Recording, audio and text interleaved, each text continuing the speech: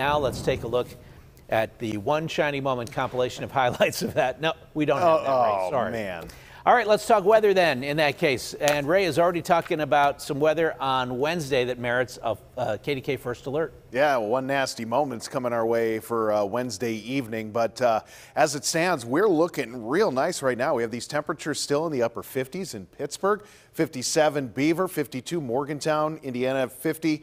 You get 48 Greensburg and Washington. Uh, Butler still at 52. These temperatures are very, very comfortable for especially this time of night uh, in early April. And we have some clouds in a few spots, but clear skies in others. So you can see a, uh mixture of clouds and stars, 58 degrees in Pittsburgh, calm winds, uh, very comfortable temperature. Our relative humidity is up to 47%, but we have a cold front coming later this week. So in advance of the cold front, we're going to get this surge of warmer air for tomorrow and for Wednesday. And you can see temperatures at this hour near 80 in Dallas, still around 70 in Memphis, 60s in Louisville, and then you go back up to Minneapolis, Billings, those temperatures are in the 30s. So there's some colder air floating around there.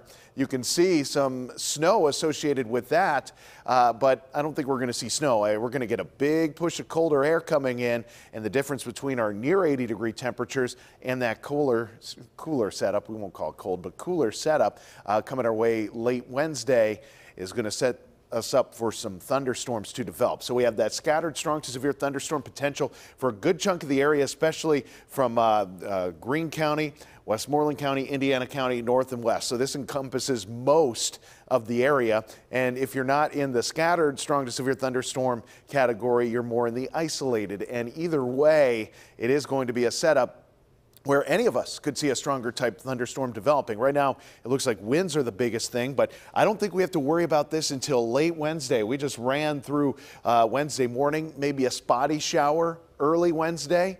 That's about it. And then it's late Wednesday where things turn south real quick. So we get the uh, mainly nice day, very warm temperatures to go with it. And then those storms start to develop later on Wednesday. This is a snapshot of 5 p.m. You can see how they're starting off to the west and then they build in here. And over the course of the evening, we could see a couple of these stronger ones trying to develop as that cold front comes through. We'll start to see those temperatures fall off and then eventually the sunshine will come back out after we get through Thursday. But uh, Wednesday evening, we have that potential for strong to severe thunderstorms. That's why it's a first alert weather day. The timing for this is the evening hours. It's the best shot to see one of these stronger storms developing. And again, damaging winds are our biggest threat from this. So tonight, pretty quiet. We'll see partly cloudy skies, temperatures in the upper 40s, so we'll fall down a little more, but it's going to be a pretty comfortable night. And then tomorrow, highs in the lower 70s, clouds and sunshine, a couple sprinkles in spots, but I think most of the day comes in dry, not a bad looking day at all. The next seven, different story. We see Wednesday turning on those late day thunderstorms. Most of the day's dry, but temperatures near 80 degrees, about 60 on Thursday with still some showers, especially early in the day. And then we set ourselves up for some sunshine Friday, Saturday, and Easter Sunday. Easter Sunday, we get a little boost in those temperatures as well with the next chance for rain after that on Monday.